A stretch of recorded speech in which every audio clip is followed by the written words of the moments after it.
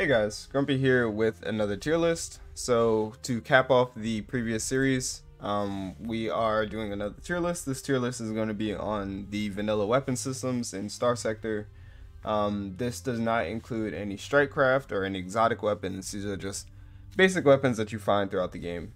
Um, like always, this list is subjective. It's going to be based on my experience.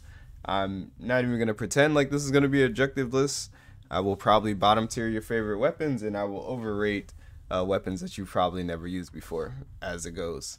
Uh, if you would like to explain why my opinions are incorrect in the comments, go right ahead. I have a blast reading them every single time. Alright, so kicking off the list, we have a strong contender, the Antimatter Blaster. Great energy weapon, occupies a small energy slot. Um, I use it to great effect in the previous series, which was Silent Night. Go ahead check it out if you haven't already. Um, just imparts a ton of damage. It costs a lot of flux, so you have to be careful when you fire this um, and you have to make every shot count. But it is a phenomenal weapon system. Next up is the Annihilator Rocket. Um, don't really like this missile system. In general, I'm a huge fan of missiles, um, not necessarily the Annihilator. The reason being is it fires um, missiles, like weak missiles in a random direction. And the purpose of it is suppression, but it, it, not really. Um, in practice, that's not really what it does. It does overload an opponent's point defense, so you can use it like that as like almost a screener for your better missiles, but then again, you shouldn't really be firing your missiles at targets unless you've already eliminated their point defense or they're overloaded. So for that reason, the Annihilator doesn't really serve a good purpose. Maybe D tier, because at least at the end of the day, it's high explosive damage. Um, the single harpoon is pretty good if you can get it. Um, obviously, go ahead and reach for the double, which where is it out? or rather the triple. Um, this is double. It shows as one, which is atypical, and usually missiles are pretty good at how many um, they fire. But go ahead and go for the triple instead of the double uh, harpoon. It's worth it. Um, in general, the more missiles that you get, the better because they scale better with expanded missile racks and then also uh, missile specialization. So you definitely want to get the higher missile count in that tier if you can get it. Uh, that said, the Harpoon is also really good. This is the medium variant. Um, same thing as the regular Harpoon, just brings more missiles to the fight. Occupies a medium slot where medium missiles are a little more competitive. Uh, you just have to be uh, cognizant of uh, other choices that you have in medium missiles. Um, next up, we have the Mark 9 autocannon. I don't really use this weapon system. Uh, it's good. It's a large ballistic weapon. It does kinetic damage at a decent range. Um, it's kind of like an entry. It doesn't cost that much OP, and uh, I don't know the stats off the top of my head, but I believe it's flux efficient. Um, does well on like a Dominator, Onslaught, Conquest. Uh, I just I don't really use those ships, so I don't really use this weapon. Next up, we have the heavy autocannon. It's okay, same thing. Medium ballistic weapon does kinetic damage. Um, I don't really use this weapon system either. Typically, my kinetic damage comes from missiles, namely the Sabot missile. Where is it at? Uh, it's in this list somewhere. But yeah, the Sabots, that's where I get my kinetic damage from, or I'll get it from cheaper sources uh, like the heavy machine gun, which is next. Um, so the Arbalest, or the uh, heavy autocannon is okay. I think it has a range of like 600 or 700. Um, it's alright. Medium ballistic. Um, medium ballistics are also a competitive slot. There's a lot of really good weapon systems, but uh, it's good on most ships. Uh, actually, I'll move it to move it to high B tier. I might rearrange it. We'll see. Uh, next up, we have the heavy machine gun. I love this weapon. It is ridiculously flux efficient. Um, it does have a short range, and it does uh, prioritize its point defense so prioritize missiles and strikecraft. However, if you put this on um, a ship that has like safety overrides or a ship that's already naturally short range, then it just shines because um, you'll be close enough to an enemy ship that usually strikecraft doesn't get in between you and another ship, and usually um, missiles aren't really a concern at close range because you'll have your shields up anyway, and they'll just either splash against you or you can tank a missile if you need to and then keep firing this very flux efficient weapon. this weapon cheats on damage. Um, it does a lot of kinetic damage for like no flux cost, so it pairs well with everything. Um, would strongly recommend it. And also, I play a lot of safety overrides builds, so that's why you'll see this on like pretty much every ship. Next up, we have the Heavy Mauler. Um, phenomenal weapon system. S tier? Yeah, yeah, of course S tier. Uh, is a range of a thousand, does high explosive damage. It fires in three round bursts. Um, if you put this on a ship with accelerated ammo feeder, it fires even faster. And really, what the heavy mauler shines at is it's just like it's a looming threat. Like it puts constant pressure on enemy ships. Um, they have to keep their shields up at all times, and if they keep their shields up, well, that's just an opportunity to up- overload them. And if they don't keep their shields up, they don't respect the heavy mauler. They'll just take chip damage the entire fight. Um, one of their drawbacks is that you can't fight, you can't fire your maulers through your own ships um, you'll end up damaging your own ships. Um, so if you are going to use something like a heavy mauler or a hypervelocity driver, which is somewhere in the list, um, where is it at? Hypervelocity driver. If you're going to use these two weapon systems, um, you really need to maximize the range to give its most like as many clear lines of sight to the enemy. Um, you can't use this if your fleet is condensed or you're fighting like a faster enemy fleet that's going to surround you. Uh, heavy mortar D tier. Uh, there's so many other better um, medium ballistics in the game that you never really use this. Uh, I mean, maybe in the early game you can kind of use it. It does high explosive damage, which is valuable, but it's inaccurate and it shoots really slowly. So, yeah. find a better alternative. It just gets outclassed so easily. Uh, next up is the Hellbore Cannon. I really love this weapon system because it's a large ballistic, um, imparts a ton of high explosive damage, and just like the Heavy Mauler has a very impressive range, um, the enemy has to keep their shields up with the Hellbore on the battlefield because the um, the follow-up shot from the Hellbore is what deals the ton of damage to the enemy ships. Um, two uh, two shots from a Hellbore will destroy a frigate. Three will destroy a cruiser. Or sorry, three will destroy a destroyer. Um, like it does a ton of damage. So the enemy has to be careful with this on the battlefield. Um, same thing for you. Look out for pirate ships, um, Atlas converted Atlases, because they'll usually sport a Hellbore and uh, the converted Atlas ship does have accelerated ammo feeder, so it'll rapid fire Hellbore shots, which can damage you uh, pretty significantly pretty quickly if you're not paying attention. Uh, next up is the Hephaestus. It is an okay weapon system, just but like the Mark 9 and the heavy autocannon, I just never use it. Um, does high explosive damage, has a decent range, decent accuracy I have no good feelings about it one way or another. Uh, next up is the high intensity laser. I love this weapon. It, it, it might be bait, it might not be good, but I enjoy using it. Uh, first of all, it's a beam weapon, so it has all the advantages of being a beam weapon in that it has a very long range. Um, it is extremely accurate and it is just constant pressure. Uh, the enemy, the AI has to address this. Uh, it can't ignore it, and usually the way it'll address it is it'll just keep its shields up, even well past where it shouldn't. Um, and then when it drops its shields, you just watch that armor decay so rapidly.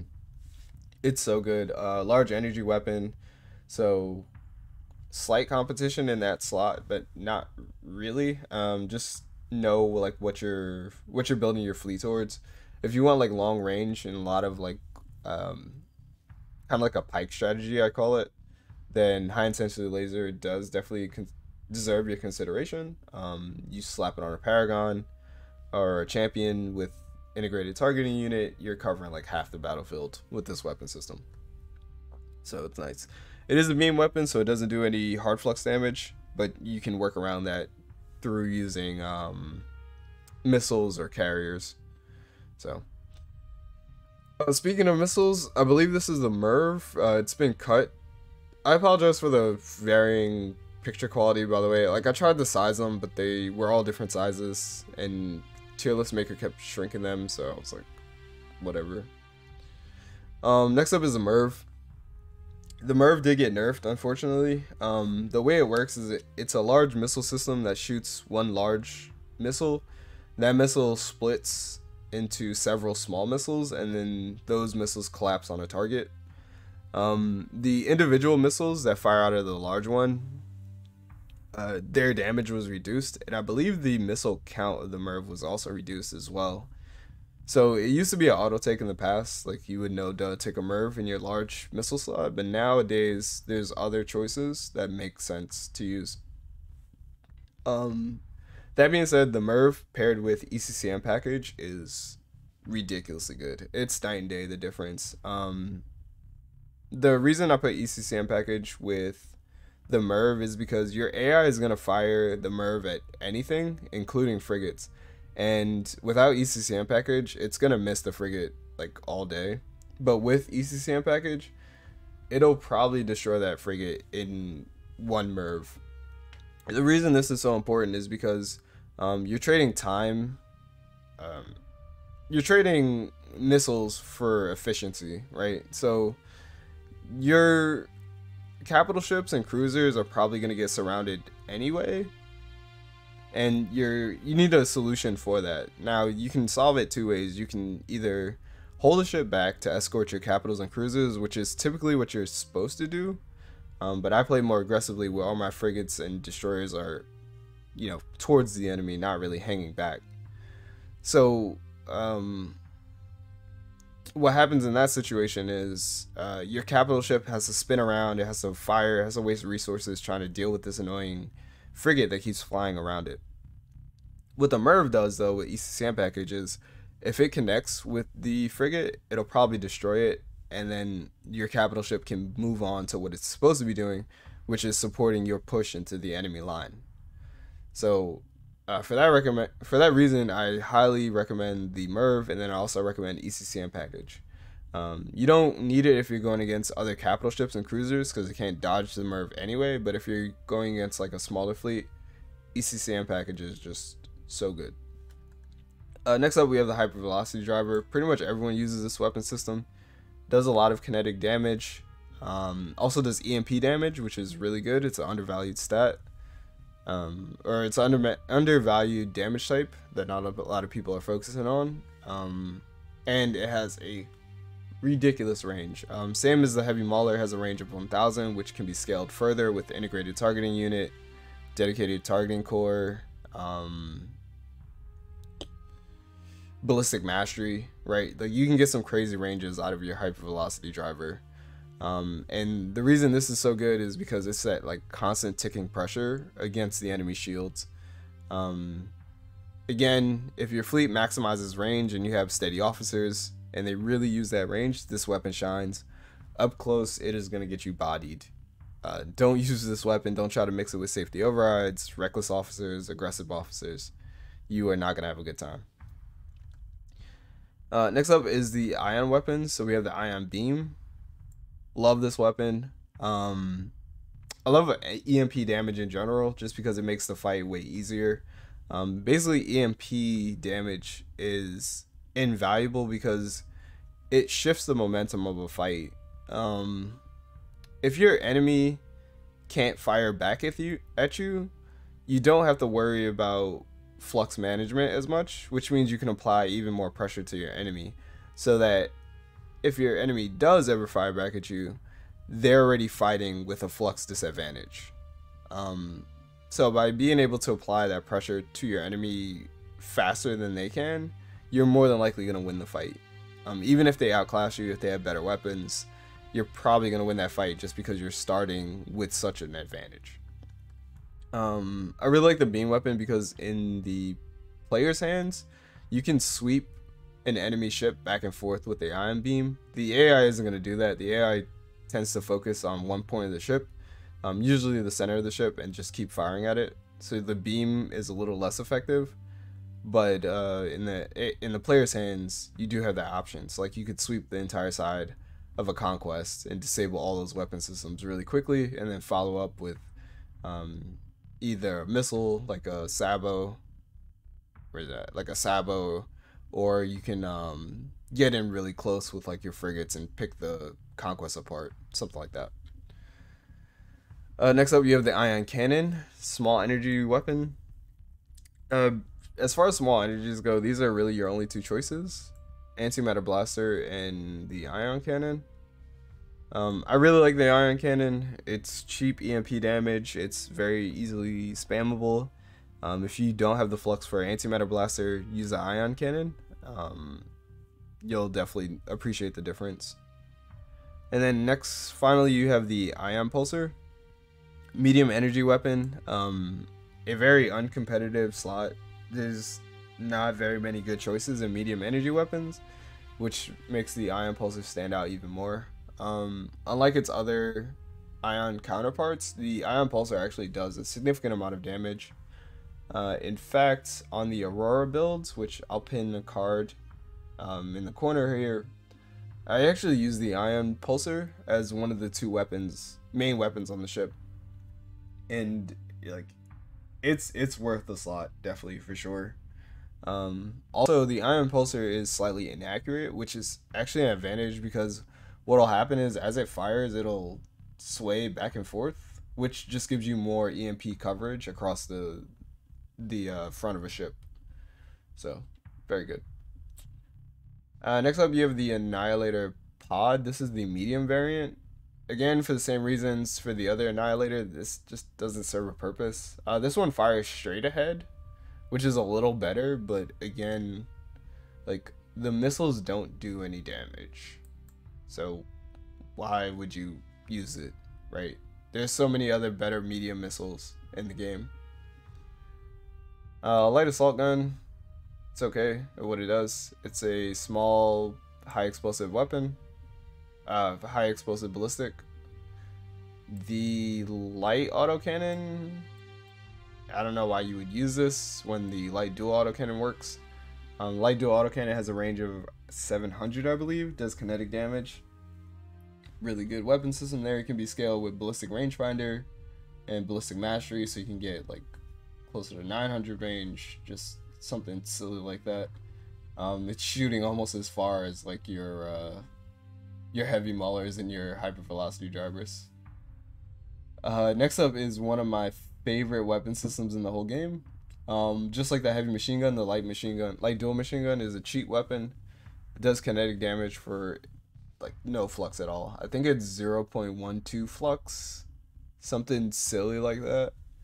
Um, what I use it for is on like a safety override ship. I'll put this in my small ballistic slots to get cheap kinetic damage, and then I'll pair it with the assault chain gun to do my high explosive damage. Um, so this costs nothing to fire, and it fires very quickly and does a lot of kinetic damage. And this costs everything to fire. So when you pair these two together, um, on something like an eradicator, you'll just melt enemy ships because they can't they can't keep their shields up and they're just taking a ton of uh, armor damage. So it's just a nice nice coupling there. Uh, the light dual machine gun also works, but um, don't use it because you can easily get light dual machine guns um, from the very start of the game. They cost nothing. I think like 500 credits or something like that. And also you win them from combat all the time. So you never really even have to buy them. Just they're so accessible. So there's no reason to use the light one. Uh, this is the light mortar. Uh, don't ever use this. Um, you can just use the light assault gun for a few more ordnance points. Um, this is inaccurate. It fires slow. Uh, it's flux efficient. It does a lot of high explosive damage for what it's worth. But like no, it goes putt putt, which is so embarrassing. Uh, next up, you have the IR laser. I never use this weapon system, but I get why it exists. It's cheap damage. Um, it's energy damage, so it's good against armor, hull, and um, shields. And it's cheap. Um, I don't know if it's flux efficient off the top of my head, but it doesn't cost a lot of OP, and uh, you can just spam them but I I don't know. I don't I don't do enough.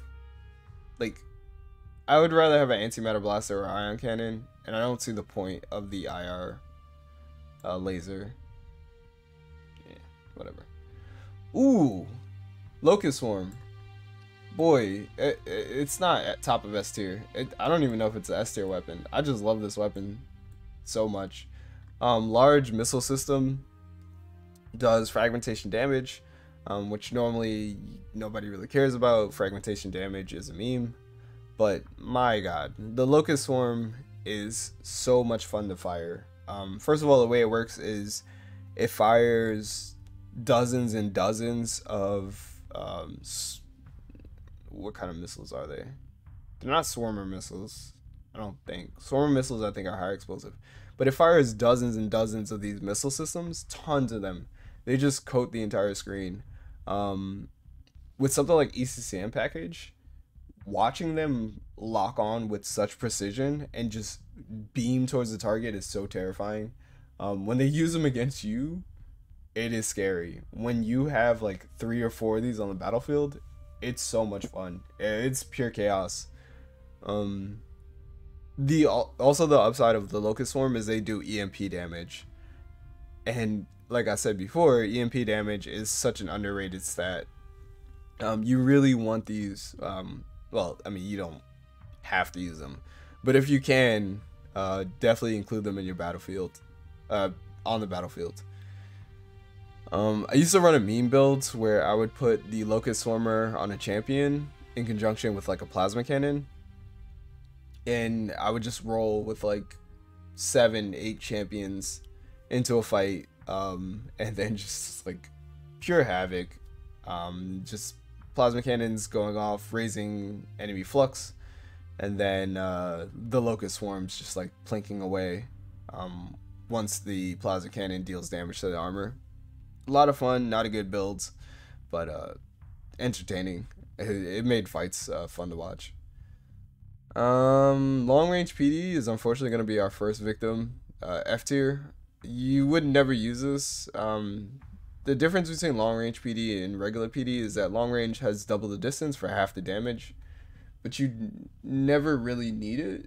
Like you never really need the uh, the extra range. You would just use regular PD. Um, that being said, in general, I do not care about point defense. Um, the way my fleets work is I use a safety overrides monitor to screen for my entire fleet. Um, if I use specialized ships for that role, that means across my entire fleet, I can cut out the ordnance points that I would spend on point defense. What that means is I get ships with better weapons, um, better vents, better capacitors, better hull mods, um, as opposed to using that um, because of the uh, ordnance points savings. So because I use monitors, I don't value point defense really at all. I get its purpose, and in a normal fleet, you need it. But for the way I compose my fleets and the ships that I use, I don't. I don't care for much for point defense. Next up is a mining laser. Um, you would never really use this weapon unless you're doing some kind of role play as like civilian ships or civilians turn rogue, turn pirate, whatever. Um, and this is all you have in the early game. Otherwise, you it's not worth it. Um, it does do a pretty decent amount of damage, um, and it's cheap. I believe it's one ordnance point to equip. But like I said before, your small energies are probably going to be ion cannons, antimatter blasters, maybe IR pulses or point defense. So you would never really use a mining laser. Uh, next up we have the Mjolnir. I don't know enough about this weapon system to judge it accurately. I know it's an energy ballistic weapon, which is very unique. Um, I don't know. I don't really see many builds incorporating the Mjolnir and it doesn't scale with like energy weapon mastery or other energy scaling effects because it is a ballistic weapon. So I'm gonna put it in C tier for now, and if you do have a good Mjolnir build, recommend it in the comments, and I'll take a look at it. Uh, next up is the Phase Lance. I never really used the Phase Lance before Silent Knights, but after Silent Knights, I have so much respect for this weapon system. Um, the way it works is it's a medium energy weapon that does uh, burst beam damage. Um, I don't think it does hard flux damage. I would have to check the tooltip. But uh, it does burst damage. Now, on a regular ship, this doesn't really matter so much because the AI is probably going to deflect it away with their shields. But on a phase ship, especially a phase ship that uses phase anchor, you can get so much value out of this. Um, in the AI's hands, they're going to use it to a decent effect, right? Like if you put them on a Doom or um, a Harbinger, they're going to use it to okay effect. Every time they pop out of phase space, uh, it'll be ready to fire because it does have a short cooldown. Um, and sometimes they'll catch the target out, uh, like with its shields down and actually like do damage to the armor in the hull. But in the player's hands, you have the perfect like opportunity to capitalize when a ship has its uh, shields down or its back turned or whatever, and you can pick apart a shield uh, ship so easily with phase lances. Um, so in a lot of my gameplay, uh, I piloted the Doom with two phase lances equipped, and whenever I could, I would just like angle perfectly to already damaged section of an enemy ship, and if not destroy it, get it really low. Um, and then the second um, pass with phase lances would usually do the trick. Um, so the mines would punch a hole in the armor, and then the phase lances would clean up. So really like that weapon system. I don't know if it's that good. Um, I'm still riding the high of Silent Knights, so that's why it's an S tier. Realistically, though, it's probably an A tier weapon because it only really belongs on phase ships. Um, also pairs really nicely with energy weapon mastery because these things are flux hungry, like very flux hungry. Ooh. Another really good weapon system, the proximity launchers. I'm gonna put these in high S tier just to grab everyone's attention. Um, I don't know if they're high S tier. I just know that they're really good. Um, not many people are rolling with this, and I definitely encourage them to try them out. Uh, this is the proximity mine launcher. What it does is it fires a um, a small ordnance that shoots forward and detonates um, on impact or when it gets to a certain distance. Um, and it does a significant amount of high explosive damage, uh, which is one of the more valuable types of damage in the game. Um, with missile specialization, energy or missile specialization, and uh, expanded missile racks, as well as ECCM package, this thing essentially becomes a high explosive chain gun, right? Like it is, it does an insane amount of damage. Um, much better than the assault chain gun. So like if you have a proc, if you have a universal, um, weapon slot, a universal medium weapon slot, and it's between the assault chain gun and the prox launcher, I almost suggest the prox launcher over the assault chain gun. Like if you have ECCM, expanded missile racks, missile specialization, because you're gonna get way more value out of this. So if I recall correctly, the proximity launcher has 60 ordinances in its base form and then you multiply it by three because of missile racks and uh, missile specialization and you're talking about 180 mines out of one of these. And on something like a dominator where you have three then that's what 540 mines that you can launch um I might be confusing it. It might be 20.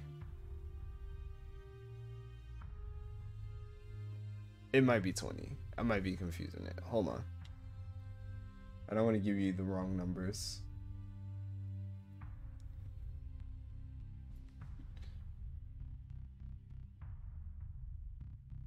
Proximity. I'm a professional, by the way. Launcher. Starsector.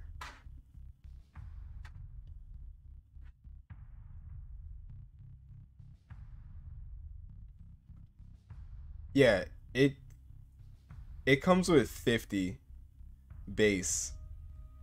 So you can scale that to 150. Um, the Dominator has, like I said, three medium slots on the front of it. So that's 450 uh, mines that you can launch. Just an absurd amount of damage that you can get out very quickly. Uh, if you haven't used the launcher, go ahead try it out. Um, good cheese weapon, just good weapon overall. Also, it does a really good job, even though it's high explosive, it does a good job melting enemy shields just because of how fast it fires. Um, the AI gets confused, tries to block it, will either overload or have to lower their shield, and then once that happens, it it, it melts the ship in front of it. Um, so go ahead, give that a try. Next up, we have the Pilum launchers. Uh, weak, weak medium missile system. Not even worth really talking about. Um, the only notable thing about it is it has an extremely long range. It can cover from one end of the battlefield to the other, and it does uh, EMP damage in conjunction to the frag damage that it does, but not worth it.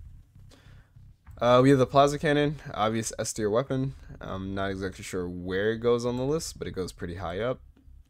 Um, flux hungry, but it does a lot of uh, energy damage. It's a large energy weapon system. Uh, costs 30 ordnance points, so you do have to consider that. It's better on a capital ship than a cruiser, but if your cruiser can support it, like on a champion, then you might as well go for it. Um, pairs extremely well with energy weapon mastery. Um, because I think its range is 600 or it might be 700. Pretty sure it's 600 though. Um, and energy weapon mastery caps at 600. So no matter where you fire this from, you're gonna hit your target and get that bonus damage. Um, so really good there. Also, if your ship has high energy focus paired with this, good luck and good night to the enemy. Like on a Sunder, whoo boy, if you can get a plasma cannon Sunder to work, that is terrifying. Um, yeah, definitely S tier weapon. Uh, everyone uses it. Uh, this is the pulse laser. I don't really care about this weapon system. It's a good budget energy weapon um, for medium. If you can't afford a heavy blaster, you can use that. But it doesn't hit nearly as hard. Um, I'm not exactly sure where you use this. Next up is the railgun, obviously S tier weapon system. Um, has an incredible range, costs 7 OP, I believe. Does kinetic damage at a distance. Um, just good, consistent kinetic damage. And can also get scaled through the roof through ballistic weapon or ballistic rangefinder, as well as ballistic mastery. Next up is the Reaper. Um, hands down, one of the best weapon systems in the game. Um, it just does a, a, a goofy amount of damage. Um, since I have the wiki up already, I might as well look up the Reaper. Um, the Reaper does a base of 4,000 high explosive damage. So against armor, it's going to actually do 8,000 damage, and against the shield, it's going to do 2,000 damage. Even if you hit an enemy shield with the Reaper, um, it's still definitely worth it. Um, and you'll see the AI actually use Reapers to um, basically overload an enemy because the alternative is a ship will get cracked in half if it gets hit with a Reaper. Usually, one Reaper will destroy a frigate. Um, sometimes a Reaper can destroy a high tech ship if it's like a um, a high tech destroyer.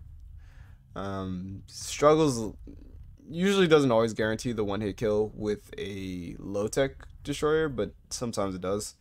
And then like two Reapers will destroy a cruiser. Um, so yeah. The trick is, and the thing I'm still learning how to do, is aim with a Reaper. Um, even though the Reaper is unguided, I definitely recommend ECCM package just so you can more reliably hit those shots. And then once you get better, uh, cough cough, I need to get better. Then uh, it just becomes a reliable um, weapon system to use to either get a quick, easy overload on your enemy or finish them off. So would strongly recommend that. Um, I'm gonna go ahead and put the Typhoon up here. Um, it's the same as the Reaper. It's just that you get better scaling out of the Typhoon. It's a medium. Uh, comes with more weapon systems. It comes with more Reaper missiles in them. And then the Cyclone Reaper is undoubtedly, unquestionably one of the best um, non-exotic weapon systems in vanilla. Um, does cost 26 ordnance points to equip, which is very high. Um, but first of all, you get 20 Reapers out of one of these. Um, so that can be scaled up to 60. So you get um, 60 Reapers, but the main thing is that they, or the main bonus and the reason why I think the high cost is justified is because you fire Reapers in tandem, which you can't do with any of these other systems. Because you fire Reapers in tandem, it doesn't give the enemy any time to react. Um, what I mean by that is if you fire one Reaper in sequence, I believe there's like a eight second delay. Um, no, there's a five second delay between Reaper shots. So in that time, the opponent has time to vent. It can uh, lower its shields and burn off that flux that you uh, that you generated with the first Reaper. Uh, if it took the first Reaper to the armor, it has plenty of time to raise its shields to tank the second one, and vice versa. But when you fire two Reapers in tandem, one of two things happen. The both Reapers impact on the shields, causing an overload, almost guaranteed, unless you're fighting um, a capital ship. Or uh, they'll both strike the enemy's armor because it's already fluxed up and it can't uh, it can't risk tanking both to the shield. Um, or you just catch it by surprise. And if it's not a cruiser that's heavily armored, or it's not a capital ship, you're probably going to destroy that ship easily. And because you have 20 of these, and realistically, if you're going to use it, you should probably scale it so you'll have 60 of these. Two Reapers out of 60 is well worth the cost to instantly delete any ship, almost any ship on the battlefield. Um, and you can have multiple of these on certain ships in the game. Like some ships in the game have multiple large missile slots, uh, like the Legion 14, um, a very special uh, redacted ship I'm not going to talk about. Um, you can get a lot of these on those, and it's definitely worth it. Um, moving on from there is the assault chain gun. This is the bread and butter to a lot of my builds. Um, if you watch Rum Runners, you saw how I built my eradicators using the assault chain gun. Does a, a silly amount of high explosive damage very quickly. Um, has a range of 450, so you have to play around that. But like I mentioned before, it pairs well with the heavy machine gun, um, which also has a range of 450. So this will do the kinetic damage, and then this will do your high explosive damage.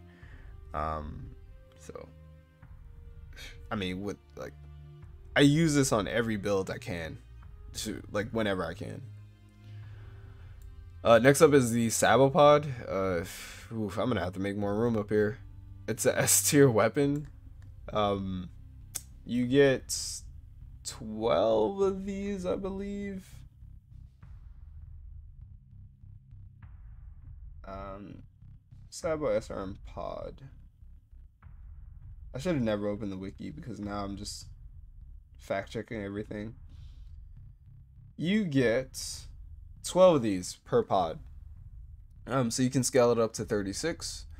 Um, and the cool thing about the pod, unlike the regular missile variants, is the pod fires two Sabots at the same time. So similar to the Cyclone Reaper, um, being able to fire your missiles in tandem, less of an impact because if you have the singles or if you have the smaller ones, you can fire them uh, rapid fire.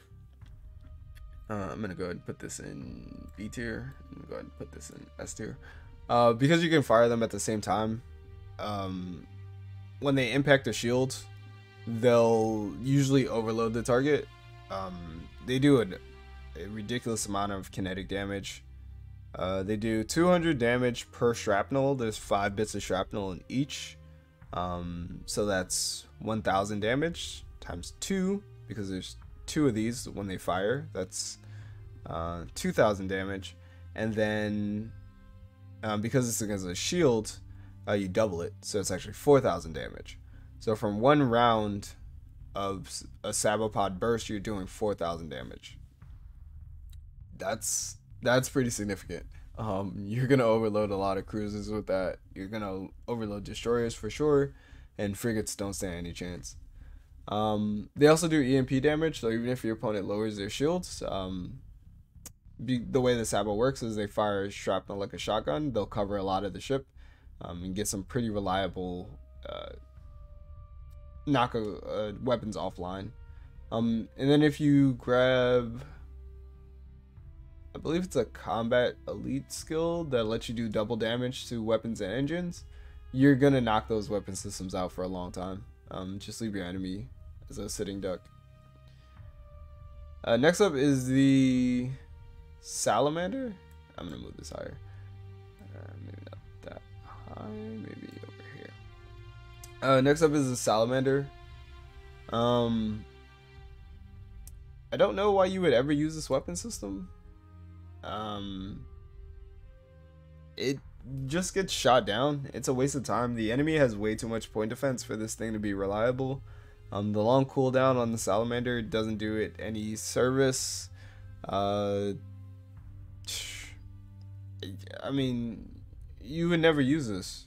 Uh, in fact, you would you would never ever use this because um, there's better small weapons. There's better small missiles in the game, and then same thing with the pod, which is even worse. You fire two salamanders uh, for even longer cooldown.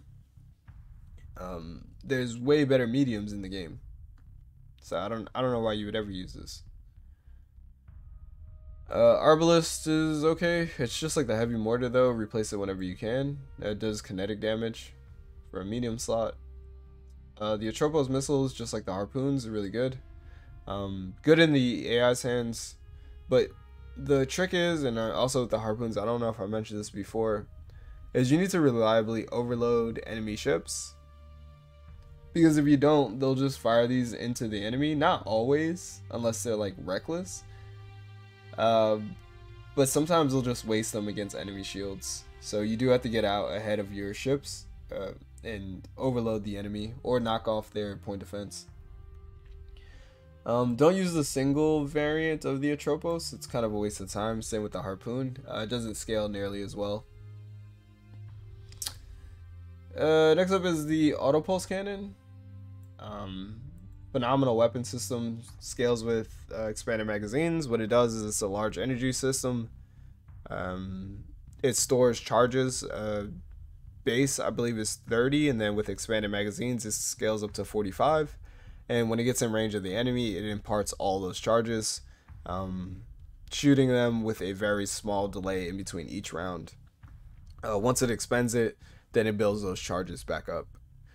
So really good on um, a certain classified uh, ship. I won't say more than that for spoilers. Um, you can use two of these at a time, surprise the enemy, and then disappear. Uh, wait for your charges to build back up, especially if you use um, a certain hull mod, and then pop out and surprise your enemy again. I didn't use it in Silent Knights um, but it is one of the viable builds that you can do it with. Um, you can also use Auto Pulse Cannon on a Sunder, which is a classic. Uh, there used to be something called a built-in safety overrides Auto Pulse Cannon Sunder, which back when you could build in safety overrides, you would build it into a Sunder, and then um, you would mitigate the flux cost of your Auto Pulse Cannon, and zip around the battlefield with a very juiced, very angry Sunder. Uh, those days, sadly, are behind us. Um, I really wish they weren't, but it was a fun build while it lasted. I believe it's still on YouTube if you just type um, BSO Sunder. Uh, it should pop up. Next up is a mining laser. Uh, this is probably going to surprise a lot of people. I actually think it's an A tier weapon system, but uh, it is a skill based weapon system. So just like the antimatter blaster uh, costs a lot of flux of fire and you have to make your shots count, the mining laser is the same thing. This thing does not do well in the AI's hands unless you have a lot of them on the battlefields, but you probably shouldn't do that. Um, there are better weapon systems that you can give the AI, but in the player's hands, if you pilot something like a wolf or a phase ship or um, even a Hyperion, something that's very mobile and can flank the enemy, the mining laser chunks. Like it hits harder than a heavy blaster. Um, and with a very low refire delay, uh, I mean not very low, but lower than an antimatter blaster, it's actually competitive with it. Um, the medium energy weapon slot is lax, like it's not a lot of competition there, so you could fit this in and then pilot like a wolf or something and uh, slap this on a wolf. Um, I did that in the early game in my Zero to Hero series. Um, it was fun until I got a real ship that I could use. Uh, but definitely give it a try. Um, it's good practice. It just makes you better in combat. Um, if you do a couple dogfights with a mining blaster wolf, uh, you'll just you'll only make yourself a better pilot. Next up is the heavy blaster. Um, this one does very well in the AS hands. I think everyone's pretty much used a heavy blaster at this point. It's a medium energy weapon, does a ton of damage, is very flux hungry, pairs exceptionally well with energy weapon mastery. Um, would recommend it on pretty much any builds. Uh, the Aurora, like I mentioned before, um, uses both the Ion Pulsar and the Heavy Blaster in tandem to rip apart ships. Uh, it also used Reapers and a Sabot so all the S tier weapons. And an Antimatter Blaster. Yeah, literally all the S tier weapons on the Aurora. Uh, which is why I really love that ship. Next up, we have the Breach Pod. Uh, I don't think I've ever used that weapon system. I don't think I've ever. Mm. I don't know why you would use. Uh, well, I know why you would use it, but I don't know why you would. So its purpose is it is a missile system. It's a high explosive missile system that doesn't do a lot of damage, but it gets bonus damage against armor. Um, its job is to strip armor on a ship very quickly. So in theory, it would be good against capital ships. Um, things like the onslaught, uh, things like a legion. But the problem is, and what always happens is, those ships are coded in point defense. So your breaches aren't going to get through unless you're using something to like screen the point defense or knock the point defense offline. But if you're doing that already, then why wouldn't you use a Reaper, a Prox launcher, harpoons? Like, you get where I'm going with that? Like, the purpose of the breach is to strip armor, but if you already have the point defense knocked offline, then you might as well use the big guns. So, I don't know. I don't, I don't know why you would use breaches. Maybe you don't have access to these. I, I don't know. D tier. Uh, next up is the burst PD. I again, like I said before, I don't use point defense because I have my monitors, but I recognize that the burst PD is an exceptional point defense weapon system. Um, the heavy, I'm gonna put in a tier below, just because I think the burst PD does enough on its own. Um, no need to dedicate a medium energy slot to point defense when you can use it offensively. Um, a small slot though to give it for burst PD makes sense. Uh, that being said, the burst PD does better on the sides of the ship um, rather than the rear of the ship, just because sometimes your burst PD doesn't have enough time. It does a lot of damage, but sometimes it just doesn't have enough time to protect your engines, so you might as well put it on the side where it gets more opportunities to uh, protect your ship. Also, does really good at shredding uh, fighters, which tend to circle your ships. So uh, for that reason, you want to put it more towards the sides rather than the flank, and you want to save your front for like your antimatter blasters and your ion cannons. Uh, next up is the Devastator. I don't use this weapon system that often, but it's pretty good. Um, I, uh, I, I, it's probably S tier, but I just don't use it enough, so I'm gonna put it in mid A tier what it does is it's a large ballistic, uh, and it's a large ballistic weapon system that does high explosive damage. Um, it works like a giant black shotgun. Um, its range is unpredictable, like it detonates at random ranges, and its accuracy is terrible. Uh, I think literally in the game it says terrible. It'll fire within its cone and its range just randomly. You can't predict it. Um, but it's really good at what it does. Uh, it does burst damage, like a, uh, the uh, shot, the shells that it does fire explode in a little area, so it's really, really good at countering uh, carriers. It's exceptional at swatting out missiles. Um, yeah, it's really good as point defense. Also, uh, interestingly, on a Dominator with Ballistic Mastery, uh, this thing chunks at really close ranges. Um, if you get in the opponent's face with this Devastator Cannon and every single shot hits, they're not gonna have a good time uh, at all. Even against shields, it does a significant amount of damage. So uh, yeah, if you want to try that build, I don't think I did a build a ship showcase on that version of the Dominator, but I have used it in Rum Runners. So if you want to take a peek at that, uh, it'll. I actually I don't know how I would show that to you. I might do a ship showcase. We'll see. But uh, you can you can go on YouTube and type Devastator Dominator or something like that. Or actually, it, will be on the Discord. Uh, Mr. G, a very prominent member on my Discord, uh, has that build, so I'll link it in the description below. Uh, pin it as a comment also maybe. Next up is the dual flak cannon. Um, again, it's kind of like the baby version of the Dominator, uh, the Devastator. It's a medium ballistic. Um, good point defense. I don't use point defense, but uh, I just I know universally it's pretty good. Uh, the dual, the flak cannon on the other hand, don't use it. Um, just use the dual. They cost similar in OP. Um, this one is just better in every single way. Next up, we have the heavy needler. Um, actually, I'm gonna put it in. I'm gonna put it in A tier. I put it in high A tier. Um, it's a medium ballistic, which is a competitive slot, but uh, I think it's worth it. Does a lot of kinetic damage. The problem is though that the AI knows this, and it's whenever it can, it's gonna um, let the needler just splash harmly against its uh, armor, where it's not gonna do any damage whatsoever. So uh, you just have to be aware of that.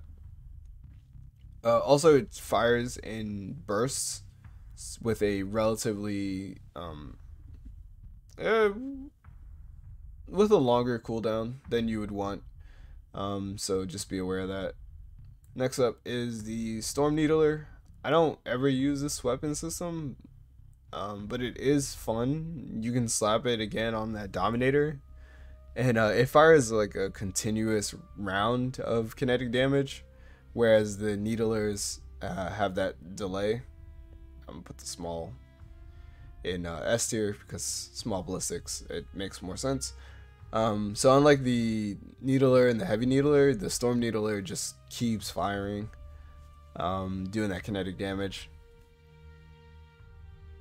I, I think I think the reason I don't use it, if I call, recall correctly, I think this costs like 25 ordnance points, something ridiculously high, and I and that ordnance point cost. You you can't justify that.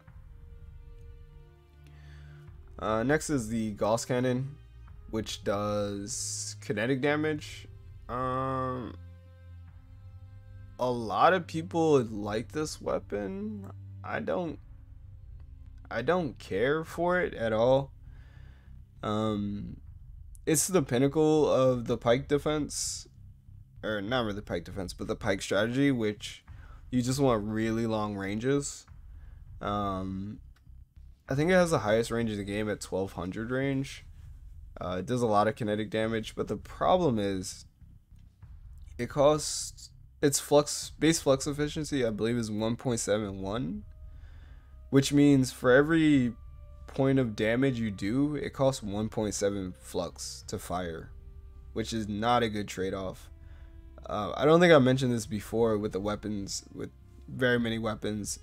But basically, the better the flux efficiency, the better the weapon is because, um, because of the tug of war nature of combat, the less flux you spend fluxing out your opponent, the more damage basically you get to do to them quicker.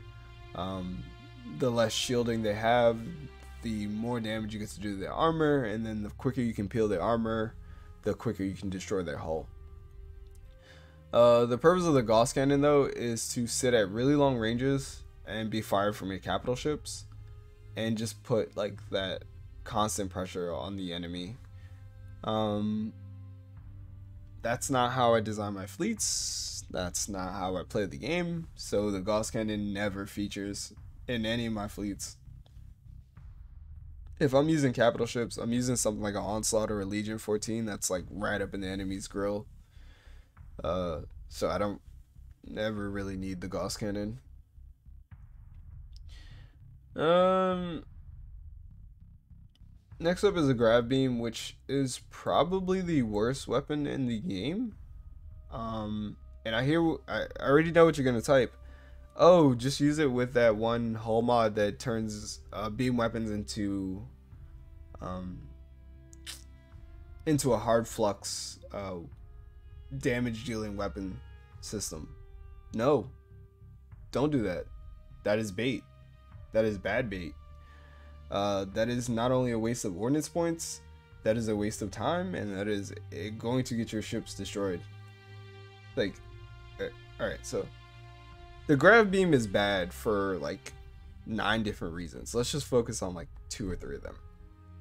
First of all, um, it does kinetic damage, which beam weapons don't do any hard flux damage naturally to shields. So what is the point?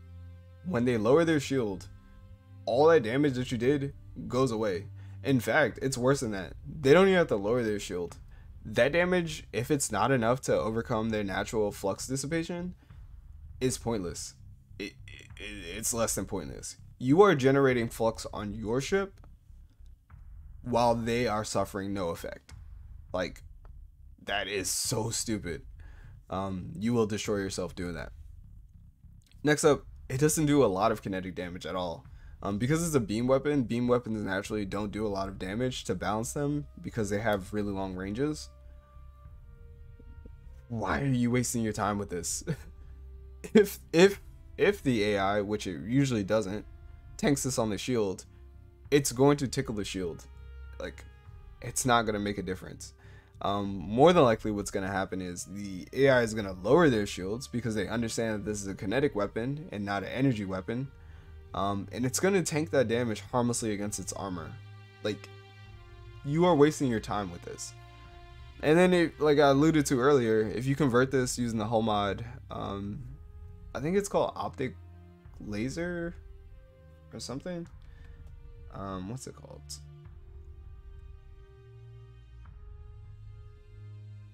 Optic.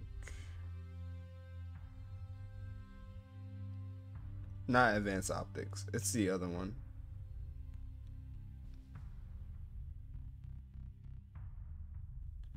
Uh.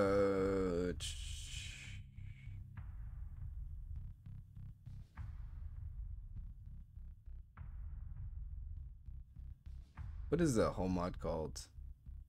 Oh, it's escaping me.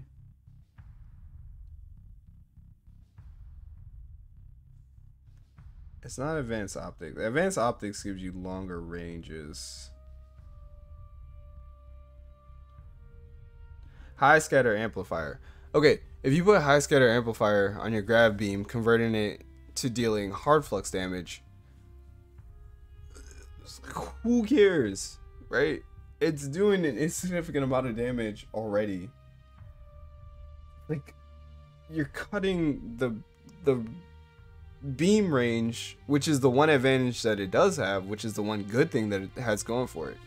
You cut in the beam range down so you can do an insignificant amount of hard flux damage to an opponent. Why? Why would you do this to yourself? Just use a better weapon. Just use literally any other energy weapon. Also, it's a medium. Use an ion pulsar. Use an ion beam. Use a phase lance. Use anything else literally you were wasting your time if you use the grav beam. If you do like this weapon system, please go ahead explain in the comments why I'm wrong. I I will upvote you and heart it, and I will still never use this weapon system. Uh, don't use a grav beam. It is a bad weapon. Okay, moving on. The Paladin PD is king of point defense. Um, I never use it. I recognize that it is a good weapon system. However, it being a large energy weapon is kind of overkill for what it does. Also, it competes with the plasma cannon, the auto pulse cannon, um, the Tachyon Lance, which you haven't gotten to yet. Uh, it is the king of what it does, undoubtedly, but what it does doesn't justify its cost, right? Like you shouldn't give up a large energy slot for defense. You should be offensive with it. Uh, next up is the hammers. So the hammer barrage is really good. I just never use it.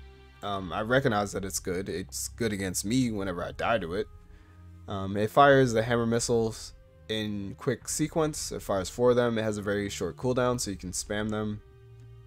Um, you can scale the damage through the roof with uh, missile specialization if you make it elite. Um, yeah, uh, it's a good weapon system, and it and the hammer fires very quickly, so you're more than likely gonna hit your target. Uh, next up is the hammer duels. I don't remember if it's a medium slot or a small that's been doubled. If it's a small that's been doubled, it's definitely A tier. If it's a medium, which I don't think it is, then it belongs in B tier. I think it's a small though. Uh, let's assume it's a small, uh, and it goes in A tier. Um, same thing. Uh, the small single goes next to the other small singles. Um, don't use them. Use the higher version because they just the higher versions scale better. Uh, next is the Squall. I love this missile system. Um, it's not. It's. Uh, I want to put it in S tier, but I know it's not an S tier weapon system. Um, the Squall just provides constant kinetic pressure, uh, really long ranges, does kinetic damage. It's a large, um, so it is competing with the Cyclone Reaper, the MIRV, um, the Locust, but it is really nice. Um, it also does EMP damage for what it's worth, and you do get a lot of Squalls. Um, so if you scale it with expanded missile racks and missile specialization, you're pretty much going to end the fight before you use up all your squalls. Um, it's good. Good on a Legion for suppression. Um, good on any capital ship that can support it, really. If you don't want to use the MIRVs, if you want to be a little more defensive, a little long range, then you can apply the Squall and then uh, just tune the rest of your fleet to use high explosives. Next up is the Swarmer. Uh, it goes in the bog of D tier. Well, actually, it, it, it goes in the in the troughs of C tier. Um, it actually serves a purpose. It's good for anti um, fighter capabilities. Like these will, um, if they impact with a fighter, they'll usually destroy it. Um, they also can overload point defense. Uh, and they do an okay amount of damage. Uh, against a frigate, they're a nuisance. They're really good at um, forcing frigates to put their shields up so you can catch them. Um, they're good in the pursuit phase against civilian ships, so they actually have a, some purpose. Next up is Tachyon Lance. Um, I think everybody knows about this weapon system. EMP damage, tons of just energy damage. Um, devastating, really. Uh, you either use this or have been the target of a Tachyon Lance, and you know when you get hit, it hurts a lot. Um, you kind of have to have your shields up. And the cool thing about the Tachyon Lance is its EMP damage arcs um, based on your hard flux. So if you generate a lot of flux against your opponent, or sorry, any flux level. I don't think it has to be hard flux. Um, if you generate a lot of flux on your opponent because you're using kinetic weapons, your Tachyon Lance will jump over the shield and start doing damage to the enemy through the shield, uh, which gets around the um, some of the downsides of using energy weapons. And then also the EMP damage arcs, which means it jumps once a system is overloaded, it jumps to the next one, then the next one until all that EMP damage has been dissipated. Um, I mean, that's uh, it's a it's a great weapon system. I, I don't know what more to say. Uh, two of these to the same spot will render a ship useless. Um, sometimes it can destroy a capital ship. I had a really cool Apogee build which used the Tachyon Lance, which I'll link in the uh, link as a card up here. Uh, basically, it used energy weapon mastery and safety overrides as well as hardened shields to reliably generate a lot of flux and then um, get all of the bonus damage from tachyon lances and antimatter blasters. Or was it the plasma cannon? It might have been the plasma cannon now I think about it. But it, it was one of these two. But anyway, uh, you get a ton of bonus damage from using energy weapon mastery with a uh, safety overrides tachyon lance. Next up is the tactical laser. Ugh. I, don't feel one way or another about this. Um, actually, I'm gonna put it in D tier. It just does an insignificant amount of damage. It just burns your flux for no real reason. You don't need it. Next up is the thumper. Uh, the only saving grace is it's not a grav beam. Otherwise, it would be. Uh, you know what? These two can fight at the bottom for worst weapon system. Uh, the thumper does. The thumper does fragmentation damage, um, but it's not point defense. So it's like, why would you use?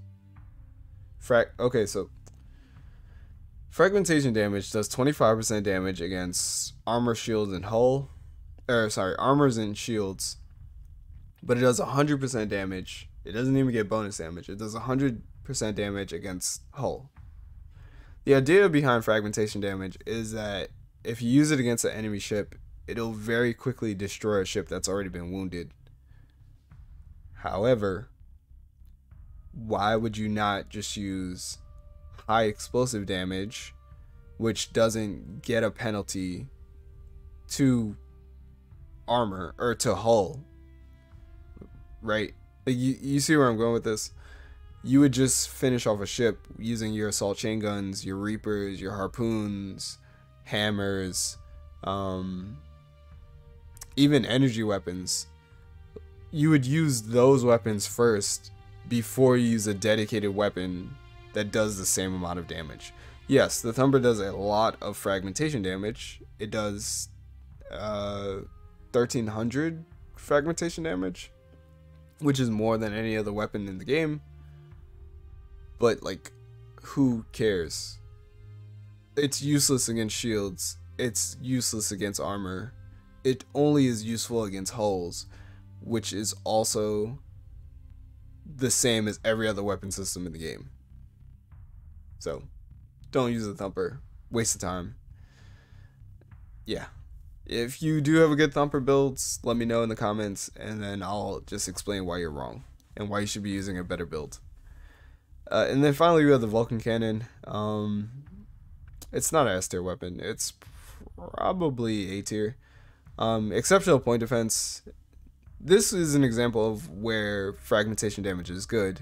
Um, against missiles and strikecraft, they don't have a lot of armor and they don't have any shield, or they rarely have shields. So the Vulcan cannon makes quick work of those weapon systems. Um, in addition to that, uh, I use them to cheat out even more damage. So if you pair them with like a light machine gun, light dual machine gun, heavy machine gun, or an assault chain gun, whatever, like um, once you do clear away the armor, you get a bonus damage on top of whatever damage you're already doing with your assault chain gun. So in this case, it supplements a weapon system. It's not your damage dealer. So therefore it's justified. Also, it does double duty as point defense. So uh, it's better than the Thumper in this case. And I believe it costs like 0.08 flux to fire. So like, yeah, it's it's ridiculously worth it. Um, usually auto include. Uh, you can extend its range with ballistic rangefinder. Um, but more than likely, what I use it for is on a safety override ship. I'll just pair it with like a assault chain gun, like on an eradicator. I'll pair these two together. So also with a heavy machine gun, so that once I strip away the armor and the shield, uh, the Vulcan cannon just does its thing. um, free damage. It just makes sense. Anyway, that's the tier list. Um, hope you enjoyed it. Um, the video is an hour long, so I'm not gonna rearrange these. But uh, feel free to comment below why I'm wrong. Um, I will like any comment uh, and then explain to you why you're wrong, actually. But uh, yeah, I hope you enjoyed the tier list. Um, as far as the channel goes, I'm gonna take a break for a little while. Uh, think of what I want my next series to be. Um, as soon as I know, you guys will know. Um, I'll announce it and then begin recording more Starsector comment content. Um, I might also, in the meantime, release either more guides or like smaller scope videos. Um, there may be other games potentially. Uh, if you guys want to see that, some of the other games that I'm playing, like uh, Vicky 3 has taken a lot of my time. I play a lot of Path of Exile as well. I'm really enjoying the League and Path of Exile. Um, so I might show some of that content. But uh, yeah, as far as Starsector goes, I am going to take a break from it just because it's hard to find the time right now to make it. Um, editing does take a while, unfortunately, and then with my job, it it's difficult. Um, but yeah, hope you enjoy the tier list. Hope you guys enjoy the the uh, holidays, and then um, yeah, hope you're enjoying the channel and the time you're having here. I do appreciate the support. Uh, we're at 2,500 subs at the time of making this video. I didn't expect that. Um, so once again, thank you for all the support. But yeah, other than that, Grumpy out.